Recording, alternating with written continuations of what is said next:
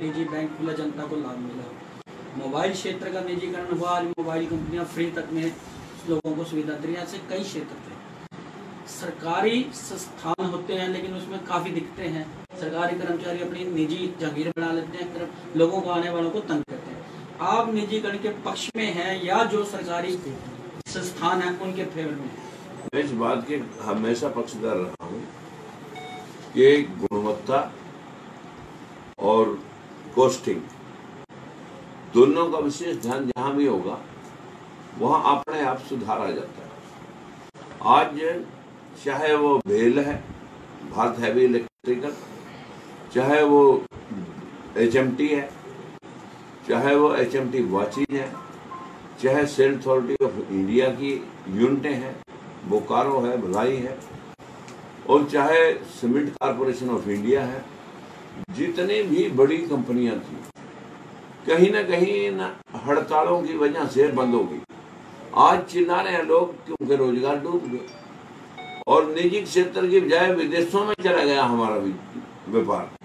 आज हमारे देश के 80 फ़ीसदी बच्चे बेरोजगार हैं।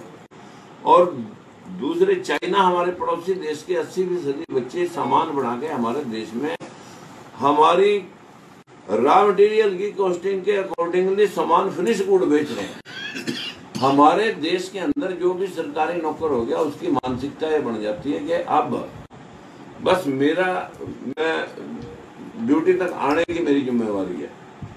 हम हमेशा इस बात के पक्षधर रहे हैं कि जहाँ पर देश आगे बढ़ाना है, वो कंपेरेटिवली ही आगे बढ़ सकता है। लेकिन अब जो लगे हुए हैं उनके साथ ज़्यादा सरकार जिस प्रकार से कोई बीच का रास्ता निकाल करके जनता की समस्याओं को हल करके इतने बेरोजगार ड्राइवर सड़कों पर घूम रहे हैं, उन लोगों की एडजस्टमेंट करके और उनकी ड्यूटी ज़्यादा जैसे सोलह सोलह घंटे ड्यूटी ली जाती है, उस ड्यूटी को कम करके ज़्यादा बंदे रख करके रेगुलर सिस्टम को, अब हरियाणा का इतना बड़ा बेड़ा है, बसों का, उसे बचाया जाना ज़रूरी है। अन्यथा कहीं ऐसा ना हो कि पूरा का पूरा सारा इंफ्रास्ट्रक्चर डैमेज हो जाए। बीजेपी सरकार चार साल पूरे होने पे जन विश्वास रैली करने जा रही है पूरे प्रदेश भर में जिला स्तरीय। आप बीजेपी के सांसद हो कहाँ मानते हो जन विश्वास कायम करने में बीजेपी को? अभी तीन दिन पहले रादौर में थी और उससे पहले भी लगभग हर ज़िले में ये बीजेपी वाले काम थोड़ा कर रहे हैं, अब तो रैलियाँ ही कर रहे हैं।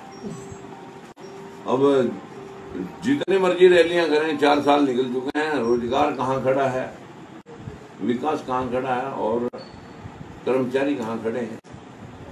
ये विषय तो जो है ना जनता बताएगी 2019 में, जिस प्रकार से हरियाणा प्रांत के अंदर पिछले पाँच मुख्यमंत्रियों ने 10 परसेंट अपने लोगों को 55 परसेंट नौकरी दे रखी है और नब्बे परसेंट लोगों के पास चालीस पैंतालीस परसेंट नौकरी बची है।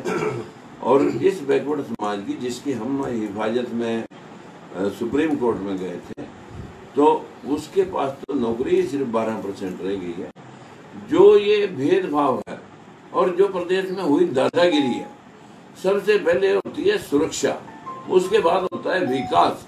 जब सुरक्षित ही नहीं महसूस करेगा कोई, हमारे साथ आए दिन हमला होता है और पीड़ा ये झलकती है कि हमने कोई अपशब्द किसी जाति पे या सरकार पे आज तक कोई टिक्का टिप्पणी नहीं की। सरकार को पूरा टाइम काम करने का मिलना चाहिए ताकि कोई ये ना कहे कि मुझे बीच में इंटरप्शन की बीच बीच में बहुत सारे लोगों ने कहा कि हम ये नहीं चाहेंगे कि सरकार बीच में डैमेज हो।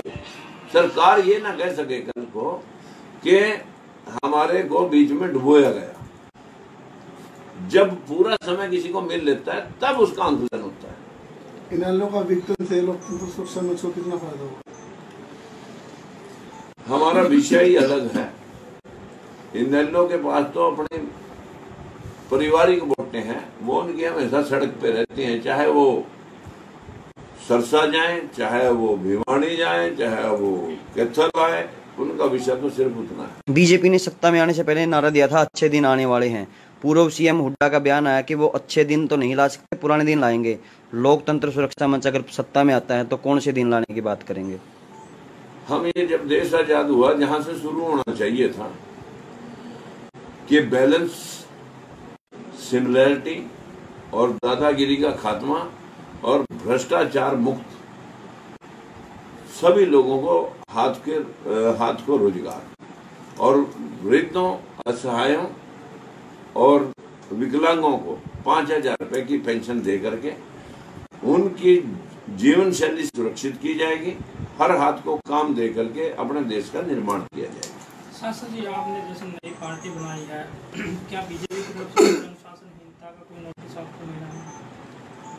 अभी मुझे लगता है कि वो खुद अनुशासन ही हुए पड़े हैं मेरे को क्या नोटिस देंगे? आप पे हमला हुआ था आपकी गाड़ी पे। और आपने आपके समर्थकों ने जिला आपकी जड़ सुरक्षा को लेकर ज्ञापन भी सौंपे थे। कहाँ तक कार्रवाई हुई? बीजेपी को सब मालूम है कि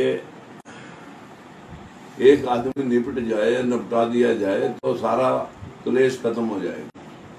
इसी इस मनोभाव से बीजेपी तमाशा देख रही है। जो विमान है उसको लेकर कांग्रेस और बीजेपी आमने सामने आप सांसद सेंटर में रहते हैं। सच्चाई क्या है? राफेल। राफेल? ये तो कांग्रेस वालों ने अपने हिसाब को बैलेंस करने के लिए वो फोर्स कांड कॉमनवेल्थ गेम कांड और कॉमनवेल्थ घोटाला कोयल कोल घोटाला उसके बाद जो है ना ये जो अपना टू जी स्पेक्ट्रम घोटाले और वो फोर्स घोटालों को बैलेंस करने के लिए ये तख्तियाँ दी जाती हैं। सुप्रीम कोर्ट ने को आप क्या क्लीन चिट दे इस मामले में? मैं आपको स्पष्ट कर दूँ कि देखिए ये काम होता है सीबीआई ये सीबीआई जाँच करे। अब सीबीआई की जाँच कौन करे? ये समस्या आ गई है कि आखिर जाँच एजेंसी किसके ऊपर लगाएँ कि बिना जाँच? अब जो राफेल कांड में दिया जा रहा है मैसेज कि जो जो पचास साठ करोड़ रुपए का या डेढ़ सौ करोड़ रुपए का जहाज़ था या पाँच सौ छियालीस रुपए का जहाज़ था, पाँच सौ छियालीस करोड़ का जो जहाज़ था, उस जहाज़ को सोलह सौ करोड़ में खरीदा गया। अब अगर कोई कहे कि एक कार थी, वो दो लाख रुपए में खरीदी जा रही थी, अब ये पाँच करोड़ वाली कैसे कार खरीदी गई? करोड़ पाँच करोड़ की भी कार है और दो करोड़ की भी कार है और दो लाख की भी कार है। ये घोटाला कांग्रेस वाले बताएँ कि आपने पहले जितने घोटाले किए उन घोटालों का क्या मापदंड था? राम मंदिर को लेकर सुप्रीम कोर्ट ने तारीख जनवरी तक बढ़ा दी है। क्या इसको चुनावी मुद्दा देख रहे हैं? ये बिल्कुल चुनावी मुद्दा है इसमें कोई शक नहीं है। और समय आने के ऊपर सब तख्तियाँ उतार करके दूसरी लगा देते हैं। सैनी साहब सीबीआई के अंदर जो कुछ हुआ है, रातों रात डायरेक्टर बदल दिया मोदी जी पे आरोप लग रहे हैं कि उन्होंने अपने आप को बचाने के लिए सीबीआई का भी सत्यानाश कर दिया। कहाँ देखते हैं अब मुझे तो लगता है, चाहे सीबीआई है और चाहे राजनीतिक सीबीआई है, कांग्रेस बीजेपी इनेलो ये भी तो सीबीआई है।